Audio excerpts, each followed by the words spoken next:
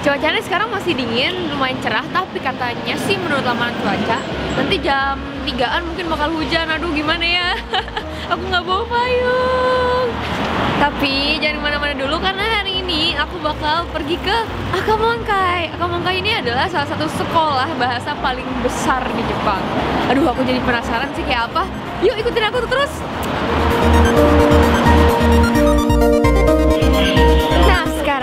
Di Shingakubo Station akan menuju Akamongkai. Jadi hari ini aku bakal pergi sekitar 9 stop dari sini 9 stasiun dari sini di Nippori Station. Sebentar lagi keretanya akan datang. oh. Nah, kita harus nunggu dulu sampai orang yang dalam keluar baru boleh masuk.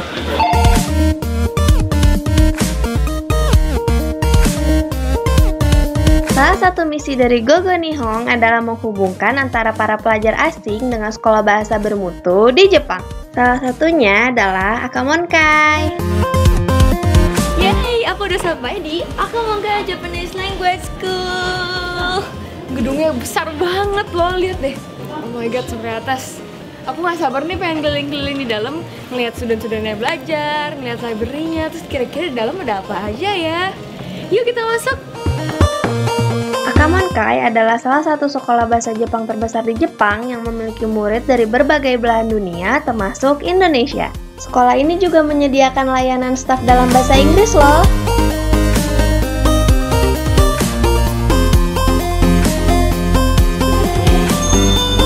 Uh, my name is Ashida from Akamonkai. I would like to introduce you uh, our classroom. So let's go together. Let's go. class is beginner class and they are doing writing essay. Oh, writing essay. Now learning negative grammar, so not pumping, not nan shinai, not doing in Japanese way. So they're writing what, what teacher explained to them? Yes.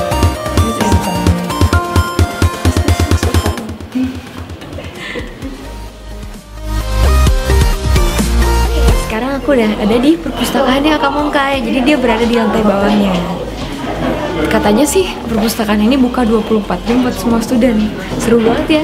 Jadi di sini ada ruangan komputer juga. Terus aku mau kasih lihat kalian yang paling seru nih. Buat kalian-kalian pasti demen banget.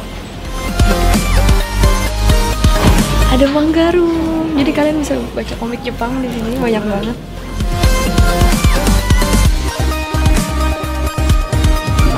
Sensei.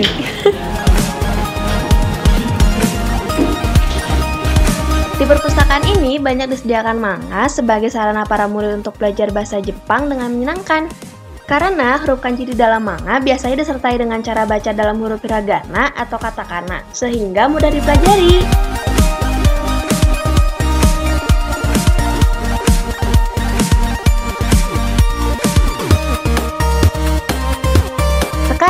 Kita akan menuju ke kampus kedua Kamonkai di dekat stasiun Nippori.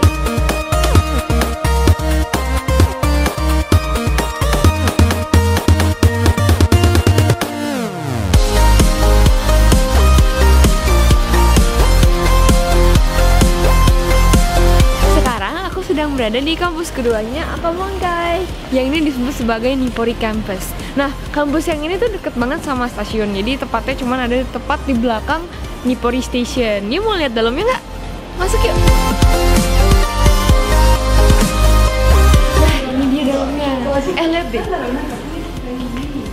Udah ada persiapan untuk Olimpiade Tokyo di tahun 2020 buat murid-murid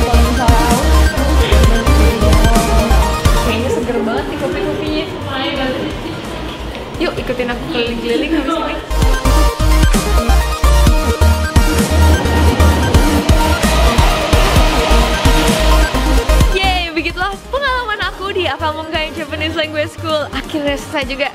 Aduh, tadi aku jadi pengen belajar bahasa Jepang di sini mendadak. Soalnya kelasnya keren banget.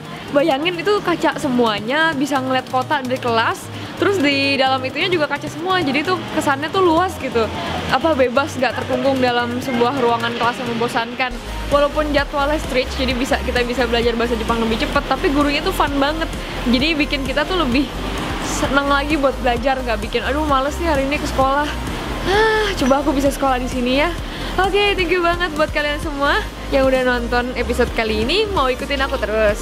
Jangan lupa untuk ikutin perjalanan aku bersama Gogo Nihon. Aku sebagai Jess Navi, Edlin udah diri dulu. Tapi jangan lupa karena malam ini aku bakal ada karaoke sama murid-murid studi tour dari Gogo Nihon. Aduh, gak sabaran pengen karaoke. Yeay, dadah, ikutin ya.